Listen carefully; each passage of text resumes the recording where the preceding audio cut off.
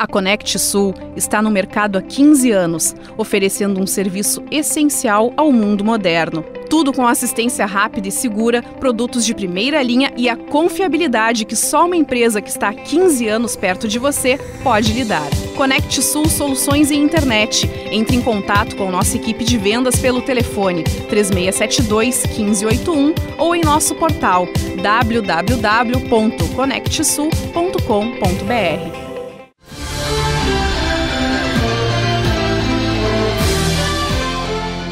Confira agora as principais notícias da região no Expresso Regional. O Rio Grande do Sul terá mais uma alta nos combustíveis a partir do dia 1 de agosto. A Sulpetro divulgou na quinta-feira os preços da pauta para o cálculo do ICMS pelo governo do Rio Grande do Sul.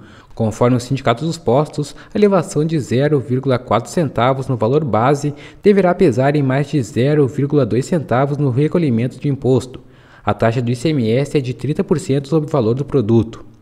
O diretor-geral do Operador Nacional do Sistema Elétrico, Luiz Eduardo Barata, informou nesta semana que a bandeira tarifária deverá continuar vermelha em agosto, uma vez que o país enfrenta adversidades climáticas em razão da falta de chuva, predominante agora em julho.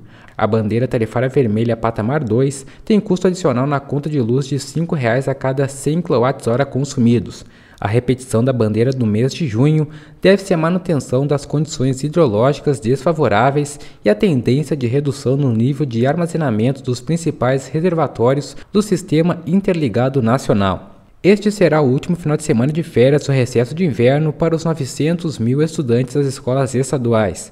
As aulas recomeçam nesta segunda-feira, 30 de julho, nas 2.539 instituições de ensino do Estado. O retorno dos mais de 64 mil professores e 21 mil funcionários que compõem a rede de ensino acontece no mesmo dia. A campanha nacional de vacinação contra a poliomielite e sarampo tem início no dia 6 de agosto e segue até o dia 31 de agosto. O dia D acontece no dia 18 de agosto, quando os postos de saúde com salas de vacina estarão abertos para atender o público especificamente para essa demanda. Essas e outras notícias você confere no nosso site www.lagoatv.com